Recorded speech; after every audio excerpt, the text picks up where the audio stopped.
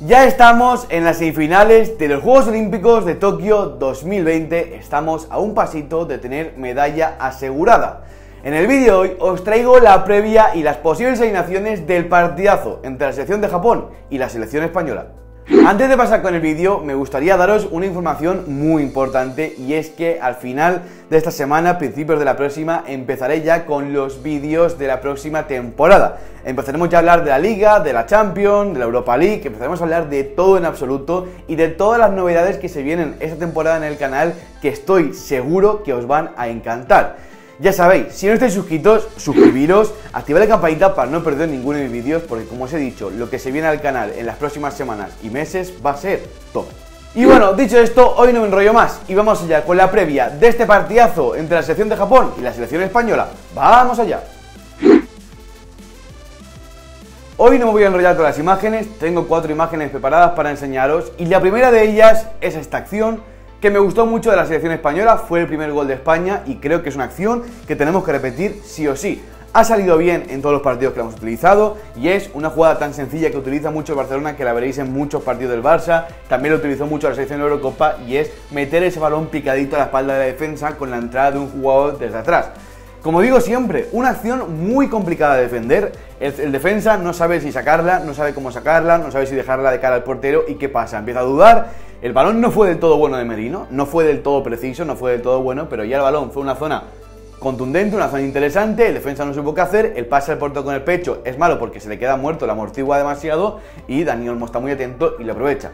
Estas acciones donde el centro del campo, donde cualquier jugador de banda mete un balón al extremo contrario o a un medio centro que va desde segunda línea a la espalda de la defensa son muy importantes contra Costa de Marfil, que es una selección física hizo efecto, imaginar contra una selección de Japón que su fuerte y su fortaleza no está en el sistema defensivo y que no es lo que mejor se le da el trabajo defensivo. Sí que tienen otras cosas que ahora comentaremos muy importantes y la verdad que son bastante interesantes, pero no es este sistema defensivo y menos este tipo de acciones que como siempre os digo son las más complicadas de defender. Uno de los errores que más estamos viendo de la selección española y que más le está costando defender y neutralizar a los equipos rivales es el balón parado, las jugadas de centro laterales, corners, eh, cualquier tipo de balón parado, cualquier tipo de juego aéreo le está costando mucho a la selección española. El primer gol fue un, gol a balón parado, eh, Argentina nos hizo un gol a balón parado. Y bueno, sufrió mucho. Esta jugada es un centro lateral que pone al área, se queda el balón muerto porque no está bien despejado, el balón se queda en el área, un remate que no es del todo bueno delantero de Costa de Marfil, pero que al final te crean mucho peligro y prácticamente todo el peligro que nos están creando, o la mayoría de este peligro es con estas acciones a balón parado y una cosa que os voy a comentar después a continuación. Y la verdad que esto creo que la selección española tiene que mejorarlo, tiene que ser más contundente defensivamente, tiene que tener eh, alguna forma de cerrar esto porque ya sea o tapando mejor las bandas y que no se centre con tanta facilidad o metiendo un cerrojo más importante defensivamente, mejor posicionado tácticamente, estudiarlo mejor, cómo defender a los delanteros de los equipos rivales y sobre todo ser un poquito más contundentes es lo que creo que falta en el juego aéreo de esta selección porque como os digo, ya habéis visto, es uno de los mayores problemas de esta selección en estos Juegos Olímpicos.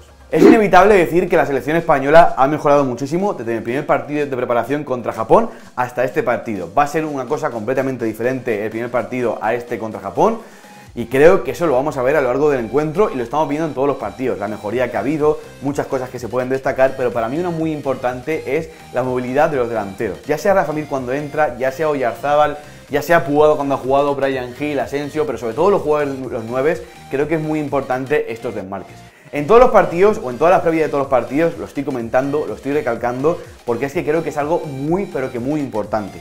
La selección tiene que seguir tirando estos desmarques. Es cierto que no estamos finalizando jugadas y encontrando mm, el acierto con estas jugadas, pero sí que hundimos mucha defensa, creamos ocasiones y alguna de estas va a entrar. Quedan mínimo dos partidos, ojalá sea la semifinal y luego podamos estar en la final. Pero eh, creo que España, si sigue haciendo estas, estas cositas bien, sigue viendo estos pases, que tenemos calidad para hacerlos, y estos desmarques siguen siendo tan efectivos como lo están siendo, creo que esta selección tiene mucho futuro ofensivo y creo que esto también ayuda a tener la pelota y que el trabajo defensivo sea más llevadero. Y bueno, he aquí otro de los mayores problemas defensivos de la selección española en estos Juegos Olímpicos. Este problema es la banda derecha, el lateral derecho, Mingueza, Vallejo, Oscar Gil. Mingueza por lesión, jugó el primer partido y se lesionó, volvió a jugar en los cuartos de final, se lesionó.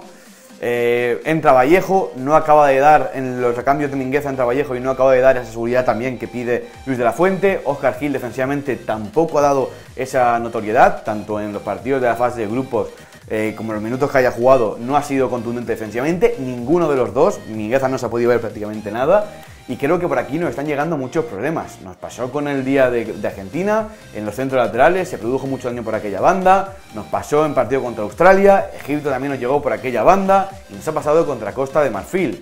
Balón en esta banda, se mete para adentro y gol.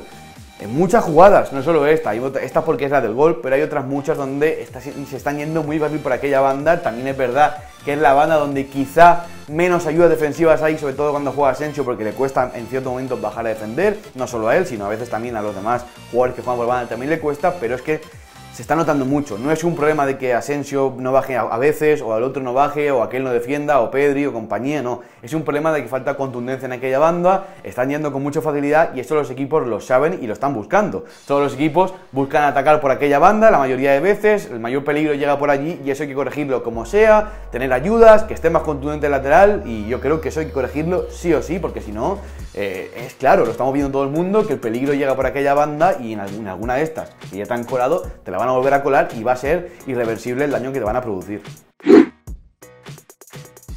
Bueno, ya estamos aquí con las posibles alineaciones del partido. Como siempre, equipo local a la izquierda, selección de Japón, visitante a la derecha, selección española. Y bueno, vamos allá.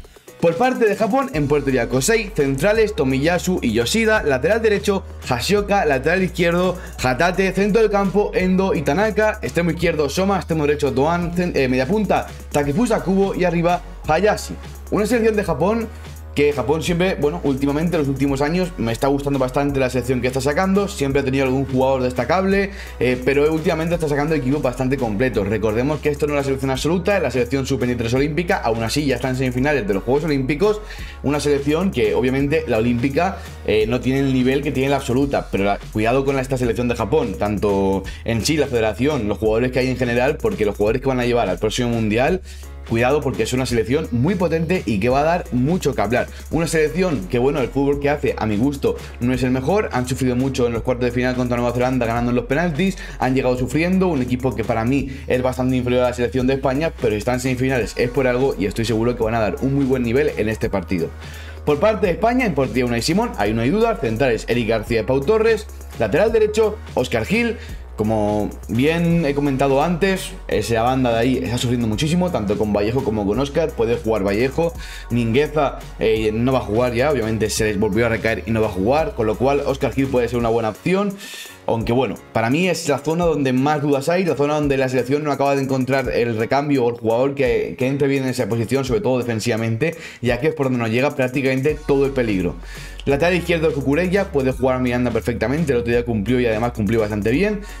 Centro del campo para Zubimendi, Miquel Merino y Pedri. Si estos tres están bien, creo que no va a haber cambio. Zubimendi se ha ganado un puesto en esa posición. De la Fuente se ha dado cuenta que jugando con un pivote y dos interiores le va mucho mejor que jugando con doble pivote. Creo que yo también opino igual, lo dije ya y lo cambió y está muy bien eso el cambio. De hecho, la selección ha notado una mejoría inminente y además muy buena con ese cambio en el centro del campo y creo que es perfecto y dejarlo así sería la mejor opción, entrando con el recambio de Carlos Soler en algún momento del partido.